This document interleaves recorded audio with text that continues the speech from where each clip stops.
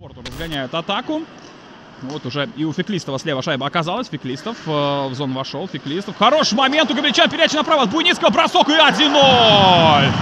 Очень быстро реализовано большинство. 29 секунд понадобилось рысям для того, чтобы забросить. И если не ошибаюсь, то, по-моему, половина минуты. Тогда сыграли команды. Сейчас э, меньше понадобилось, э, две с половиной. Ну вот, смотрим, вот эта передача, э, отличный пас, ну и здесь уже пустые ворота.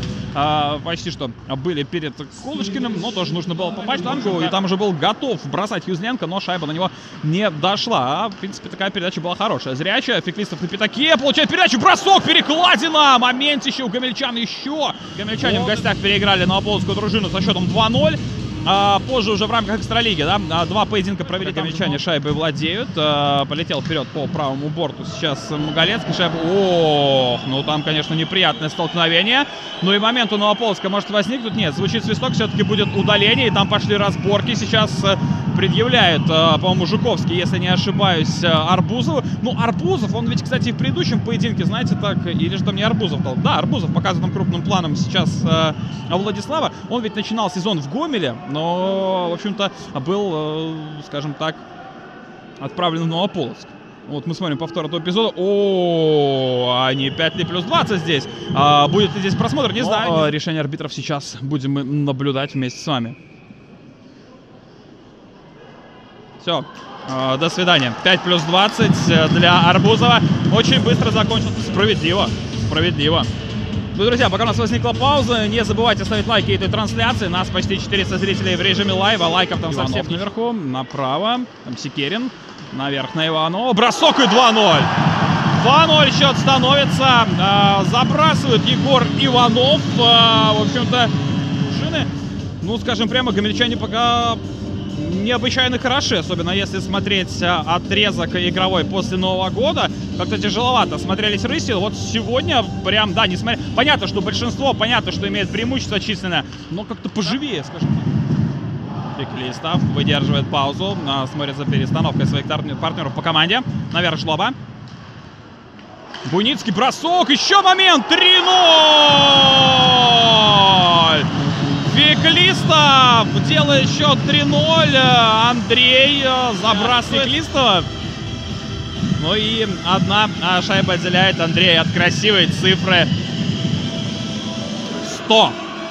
Ну и это при том, что еще полторы минуты в большинстве будут играть э, гомельские хоккеисты. Так, там э, есть какие-то вопросы, похоже, по взятию этой шайбы. Давайте... Ага, тут, наверное, на помеху вратарю будет возможно смотреть повтор. Там Колышкин находился а, возле голкипера. Что?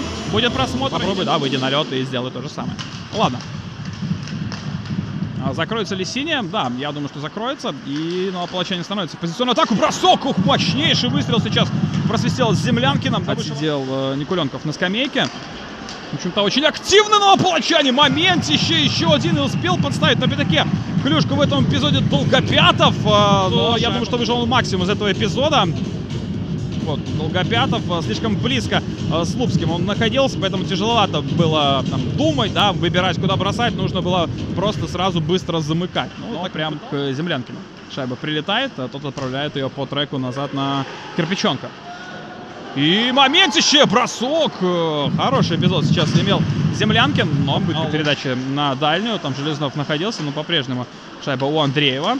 Андреев, хороший пас и браво! Сейчас очень здорово, Вашкевич. А первый на ней э, Максим Вайтович. И выбрасывает шайбу вперед, и есть атака 2 в 1 у хоккеистов Гомеля. Момент, Ковалев, нет, это Жуковский был, добивание! И у Кузеева не получается забросить. И продолжает горячане атаковать. Кузеев снова шайбой, бросок ближний, мимо ворот шайба свистит. Интересно. Секерин налево. Передача на дальнюю штангу. Хорошая зрячая передача. И подставлял там Нарзяев. Да, точно передачу. Сейчас контратака от Гамельчан. 2 в 2 развивается. Андреев. Ой, здорово. Дает передачу назад а, накатывающемуся партнеру по команде. Еще бросок ближний. Где там шайба? Шайба не в воротах. Нет, разводит а, арбитр руки в сторону. Но опаснейший момент там заметил Андреев. так. Ну давайте смотреть. Вот здесь а, классно Андреев обошел и отдавал передачу. Не проходит этот пас. Но вот э, да, шайба за спиной у Вашкевича оказалась. Заметил это Андреев, но Вашкевич довольно быстро а, лег на спину. Вот тут прекрасно видно, да, где шайба находится. Ну, тут Садовик, конечно, опережал Андреева и первую клюшку ставил, да, и тут же быстро Вашкевич снова шайбой в нейтрале оказывается. Неплохо нашел партнера. Ай, здорово сейчас как получается. Бросок э, хорош в этом эпизоде был. Давайте смотреть. А, нет, нам показывают предыдущий эпизод с участием Долгопян.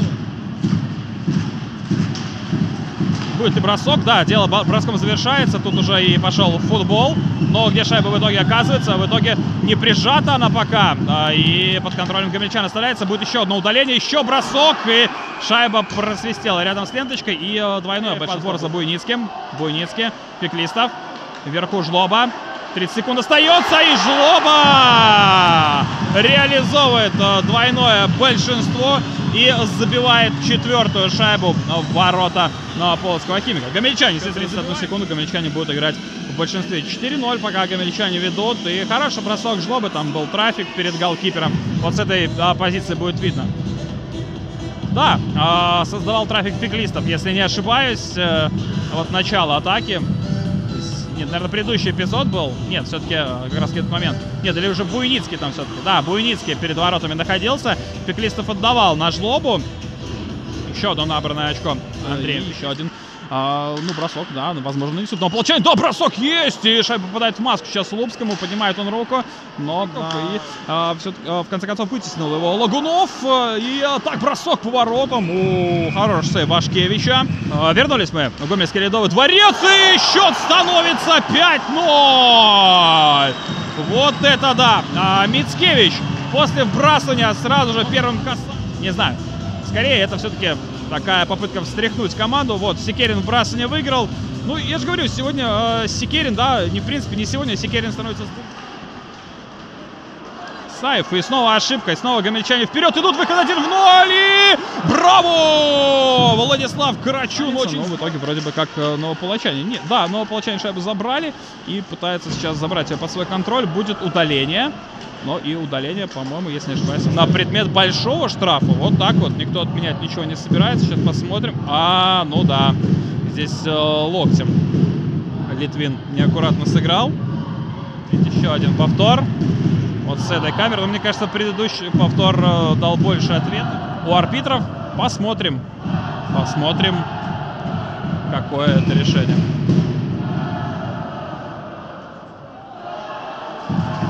Да, еще 5 минут большинства для Гомеля.